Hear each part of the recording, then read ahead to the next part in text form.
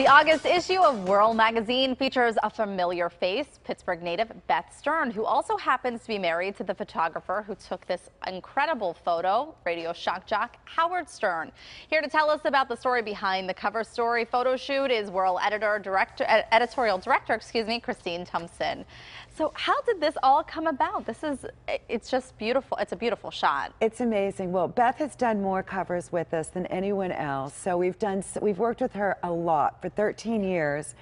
And in the beginning, when we first worked with her, we used other photographers until her husband, Howard Stern, really became interested in photography and he has just excelled. His work is amazing. Well, he has a good model, right? Exactly. She's a professional model, so right. the two of them together, it's just unbelievable. And there are several pictures in this. If, if you wanted to take a glimpse, it's not just the one that you see on the cover. There, are, how many how many different pictures in the article? I think. Well, we we were sent a lot. It was mm -hmm. really difficult to choose. So we, we have about eight, I think, all, in all in, in the table of contents and elsewhere, and everything is online. That's great. So you can really see the shots that they were taken right outside of their home in the Hamptons.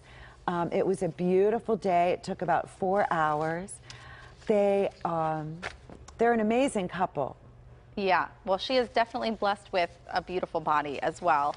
Um, tell me about the article, because she actually wrote this article. Yes, so we're friends, and I really trust her. And I just said to her, write me a letter. Write it like you were writing me a letter, what you're doing right now. And she just said, it just, it was really funny. It just came out of her. She said she just sat down and went, boop, everything came out. But it's so beautifully written. And she really describes her mission right now. Believe it or not, their home in the Hamptons is pretty much dedicated to fostering kittens oh. for the North Shore Animal Rescue League. They're very involved with that. And they've fostered 400 kittens so far. Wow.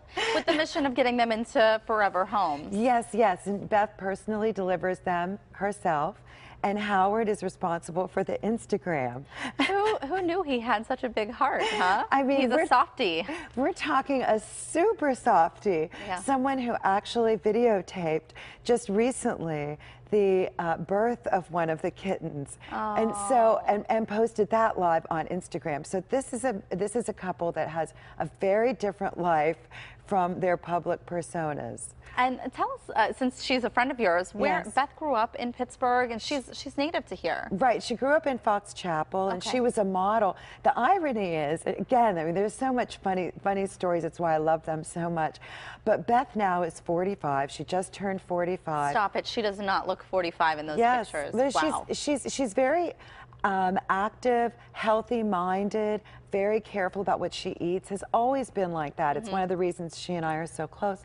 But the funny part about it is that she started as a bathing suit model in her 20s and really was insecure about it. Uh -huh. And it's just, it's just such a wonderful story because now here she is, you know, in this really successful, happy marriage, very, very happy. I was just talking actually with Marie, who's on the floor right now with us in studio, about how women's um, confidence kind of changes over the years as we get older. You become more com comfortable with yourself and and your body. So truly amazing stuff. Well, it's certainly something to check out. And thank you for being here this Wednesday to tell us a little bit more. You can read more about the cover story on the August issue of Whirl Magazine online and on newsstands now.